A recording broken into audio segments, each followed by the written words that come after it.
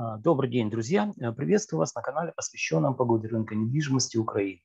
Э, сегодня мы будем говорить о рынке жилой недвижимости э, города Киева, или точнее подведем итоги уже прошедшего второго квартала 2022 года.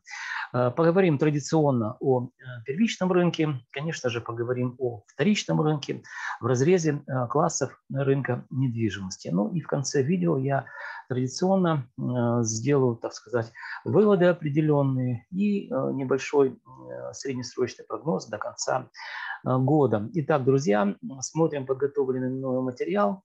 Будем разбираться исключительно опираясь на статистические данные компании Olymp Consulting и с помощью цифр попробуем все-таки понять, что э, происходит э, и происходило э, на рынке жилой недвижимости города Киева. Перед вами карта, карта части Украины. Это центральный регион, все свои исследования мы проводим исключительно опираясь на административно-территориальное деление Украины. И напомню вам, что в центральный регион входят пять крупных областных городов или центров. Ну, это, конечно же, город э, Киев, Черкасы, Крапивницкий, э, город Винница и город э, Житомир. Сегодня мы говорим о городе Киеве.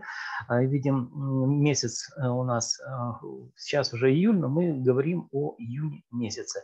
Все остальные города, здесь видим информация старая за май месяц, но по мере, так сказать, исследования я буду добавлять уже июньские данные по каждому крупному областному центру, который входит в центральный регион Украины. Итак, э, город Киев. Начнем говорить от э, общего и потом к частному. То есть сейчас это у нас такая сводные данные. Расскажу, как вам э, читать их. Видим, под каждым городом есть в общем-то, легенда карты, где мы можем прочитать основные Э, показатели, которые э, характеризуют состояние рынка недвижимости на июнь месяц 2022 года. Э, начнем с количества предложений. Количество предложений – это на рынке жилой недвижимости, куда, друзья, вошел первичный и вторичный рынок города Киева. Видим, в июне месяце это 22 193 квартиры было выставлено на продажу что на 3,8% э, показало нам незначительную динамику роста. Ну, с чем это связано, мне сложно сказать. Возможно, одно из новшеств э, отменили э, доверенности при продаже недвижимости. Возможно, это как-то так повлияло. Почему? Потому что с учетом того, что большая часть мужчин не выездные, кто-то уехал, много женщин уехало, уехали, и это могут быть совладельцы недвижимости, Э, соответственно, невозможно было продать недвижимость. Сейчас вроде бы как этот вопрос э, положительно решился. Может быть, в связи с этим мы видим вот такую незначительную эм, активность по предложениям на рынке недвижимости. Э, переходим к социальному жилью. Это город Киев, напомню вам. Социальное жилье это самый большой кластер, который присутствует на рынке жилой недвижимости. За месяц исследования снижение минус 0,18%. Эконом, комфорт, бизнес-класс – это также у нас вторичный рынок, друзья. Также видим снижение, незначительно, но все-таки это снижение, снижение минус 0,13%. Э, первичный рынок квартиры эконом-класс также показали нам динамику снижения минус 0,24%. Э, ну и первичный рынок квартиры комфорт бизнес-класс показали нам незначительную динамику роста плюс 0,06%. Также хочу обратить ваше внимание, что в городе Киеве присутствует еще такой класс э, на первичном рынке, это элитный класс. Здесь также видим рост плюс 0,17%, и первичный рынок элитный класс строится только, э, или квартиры с такими характеристиками строятся исключительно в городе Киеве. Во всех остальных четырех городах вы не найдете квартир с подобными техническими характеристиками. Итак, от общего уже в процентах э, посмотрели сводные данные. Переходим. Естественно, что было с рынком недвижимости в разрезе классов. Будем говорить уже, так сказать, в долларах. Да? Э, то есть э, в абсолютных цифрах, не условных, а в абсолютных. Э, перед вами карта города Киева, говорим о социальном жилье, это, вспомним самый большой кластер, который эксплуатируется на рынке недвижимости. За период исследования мы видим вот здесь у нас май-июнь, наибольше всего подешевела, друзья, в Днепровском районе недвижимость, да, минус на целых 50%. Ну и меньше всего подешевела так, в Святошинском районе минус 0,10%. Напомню, мы вам, с вами говорим о социальном жилье. Переходим к другому слайду. Здесь вы видите excel таблицу. Давайте расскажу, как пользоваться данными. Это а, средняя стоимость квадратного метра уже по вторичному рынку, опять же, но три класса, эконом, комфорт, бизнес-класс. Здесь вы можете посмотреть а, в долларах, сколько стоит квадратный метр, снижение за месяц в процентах. Также оставил э, для наглядности э, карту центрального региона, чтобы вы могли, в общем-то, смотреть и ориентироваться, что происходило в целом по центральному району. Мы видим, что в июне месяце средняя стоимость по трем классам достигла 1500 530 долларов за квадратный метр и показала динамику снижения минус 0,13%. Э, следующим слайдом мы будем говорить уже о квартирах на первичном рынке, и это эконом-класс. Э, также первичный рынок, напомню, друзья, продается исключительно за гривны. Для вашего удобства я перевел это все в доллары. И э, ну, по курсу Национального банка, естественно для того, чтобы вам было удобно сравнивать вот эти процессы на вторичном рынке, где все продается за доллары, и на первичном рынке. Видим стоимость квадратного метра за июнь месяц 839 долларов. Также э, динамика снижения минус 0,24%. Ну вот здесь вы на карте тоже можете посмотреть, что эконом-класс показывает нам снижение минус 0,24%. Переходим следующему слайду и будем говорить уже о квартирах комфорт бизнес-класс. Заметьте, что а, из 10 административных районов, в общем-то, у нас осталось раз, два, три, четыре, пять, шесть, семь районов, где строятся квартиры с э, Э, подобными э, классами. То есть это Голосеевский, центральная часть, Днепровский, Русановка, Оболонский, Липкий, Печерский центр, Подольский центр, Соломенский, это район КПИ, и Шевченковский также центр. Видим, что средняя стоимость квадратного метра по этим двум классам 1635 долларов. Напомню, что первичный рынок это в гривны, я это все перевожу по курсу Национального банка Украины.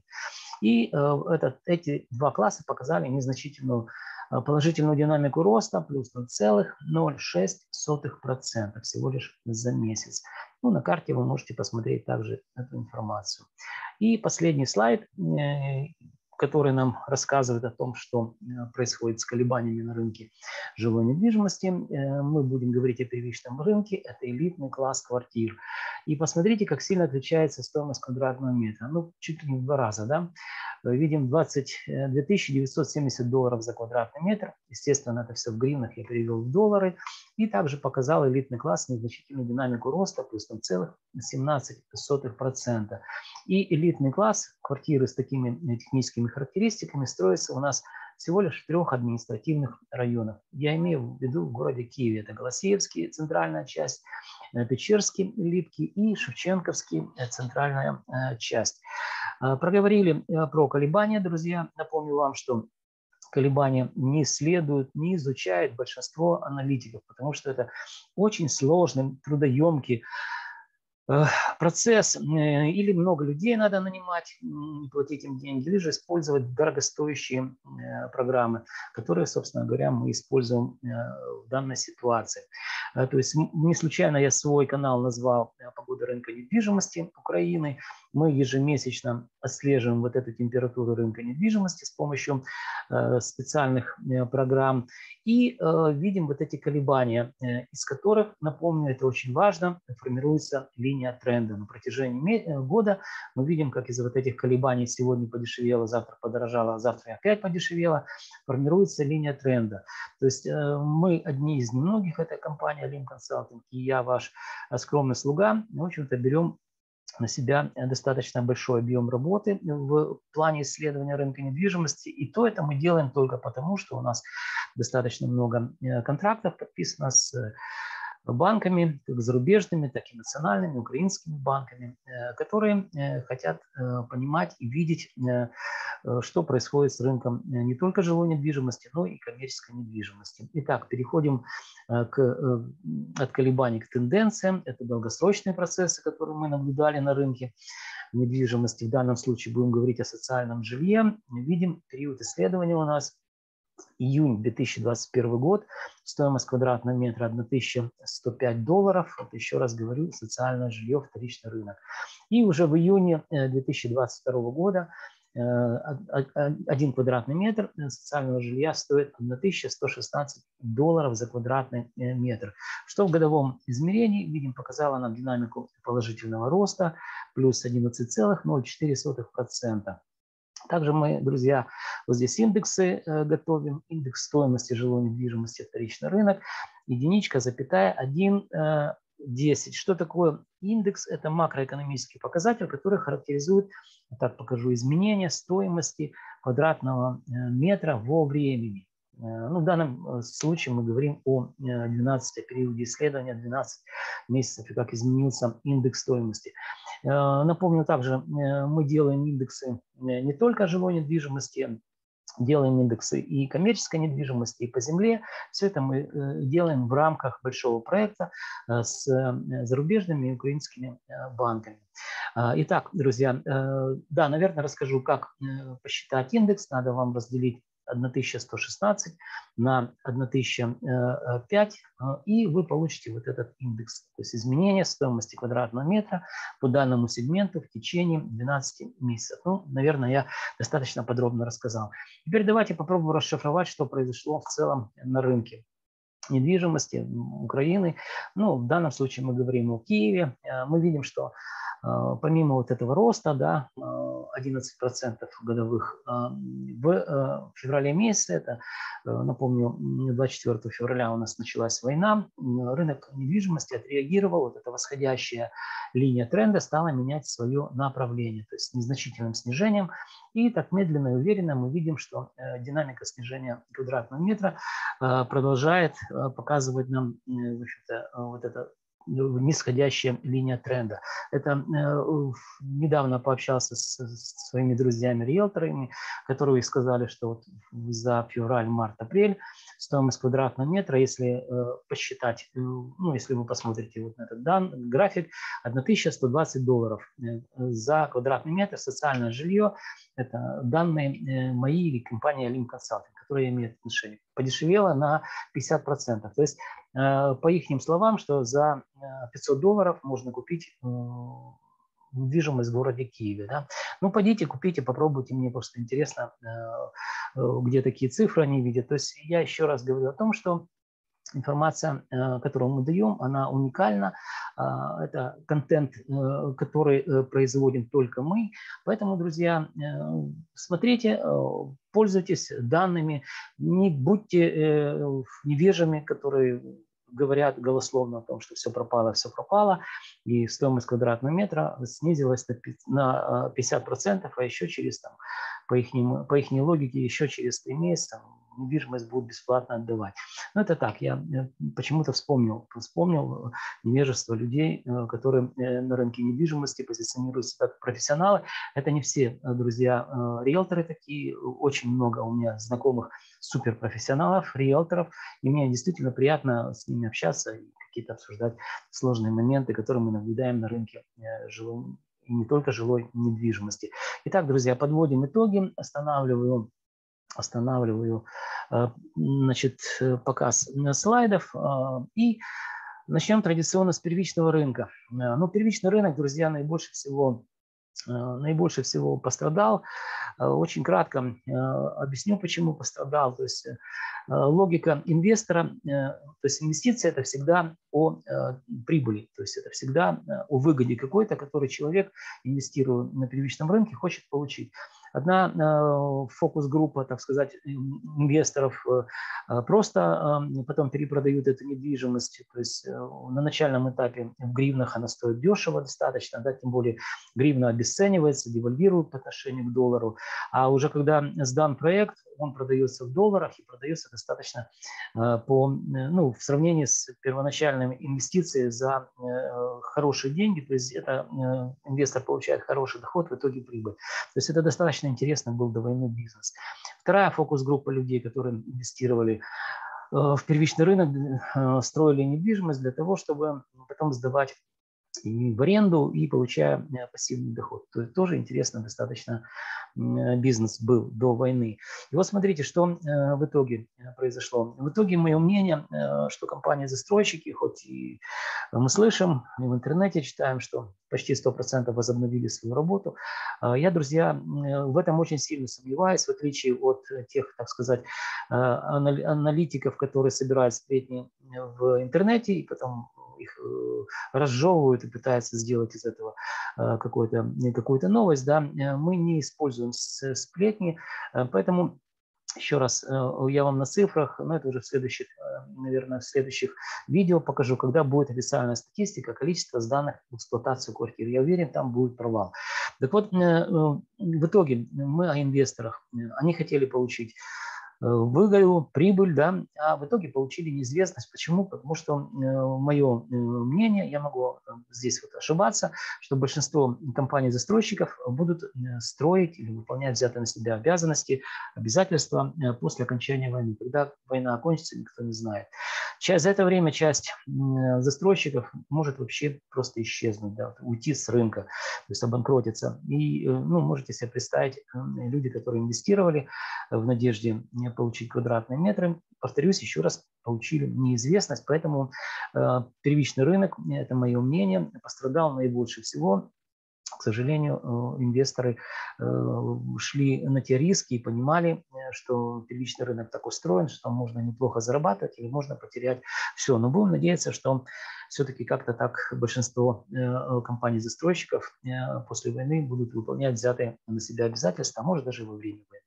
О вторичном рынке. Вторичный рынок, друзья, он будет неактивный, Почему я в этом даже не сомневаюсь, буду вам потом уже с официальной статистикой говорить, когда количество транзакций опубликуют Минюс. Но во время войны адекватные люди, как правило, не продают, не покупают.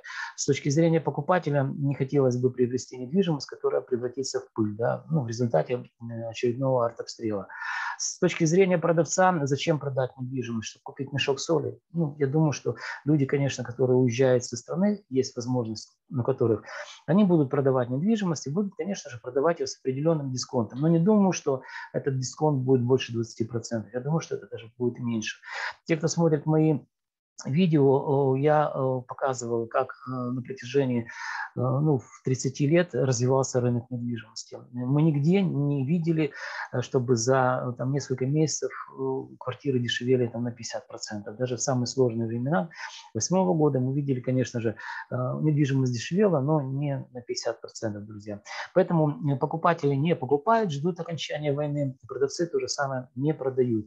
А люди, которым необходимо это, уехать из страны, еще раз повторюсь, они, конечно, будут продавать и будут продавать с определенным э, дисконтом эти э, квартиры. Но за бесплатно, друзья, вам не будет никто отдавать. Вы должны уважать и понимать, что продавцы такие же умные люди, как и э, покупатели. Вроде все рассказал, постарался подробно рассказать. Друзья, для того, чтобы вы знали, что происходит с рынком недвижимости, подписывайтесь на мой канал. А, канал для э, думающих людей. Здесь много уникальной статистики, которую вы не найдете нигде. Еще раз повторюсь, мы э, э, данные статистические данные в рамках больших проектов готовим для крупных национальных банков и зарубежных. И частично я, естественно, делюсь этой информацией с вами.